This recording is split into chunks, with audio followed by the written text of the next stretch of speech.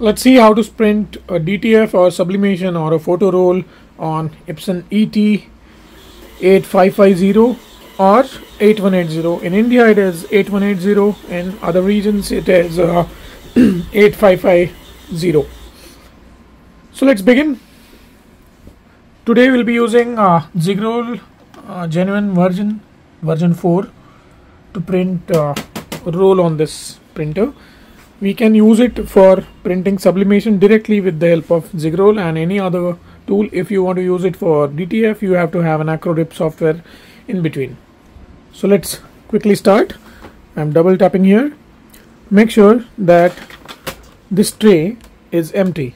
Okay? You don't have to take it out. If you want to take it out you can take it out. If you are using DTF you anyways you don't need this tray. So make sure that this is empty. Close it by closing it A4 plain paper. So make sure that whenever you insert the paper the default paper has to be A4 so even if this tray is empty we will be feeding A4 paper from the back tray. So I'm hitting on close. Now what we will do this is a roll. You can use a pet film or sublimation uh, paper roll. Now we will be taking this part out. We'll be feeding an A4 paper here now. Okay. This is our A4 paper. I'm placing it here like this. Okay. Adjust the guides. Now here make sure that it has to be a plain paper and it has to be A4 so once it is set you can change it and you can set it up. Once it is set go to Ziggroll software. There is a separate video how to uh, install the software and all so I'll be hitting on load paper.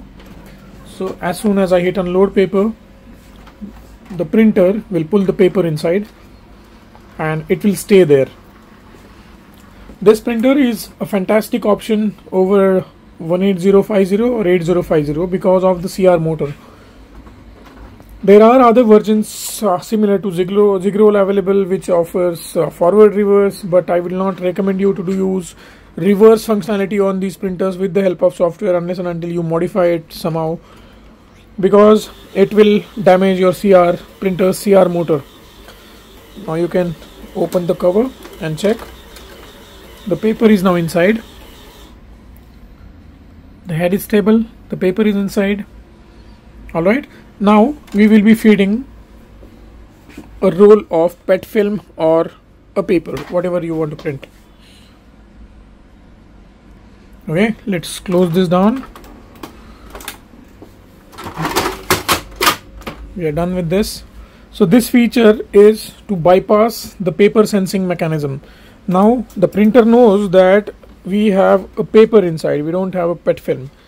So what we will do we will be inserting a pet film film on the top of this paper. Push it down. All right pet film is little wider. Now I will select 5 or 10 here and I'll hit on eject to cut. So as soon as I uh, click on eject to cut you can open it and check. I will just click it and you can see.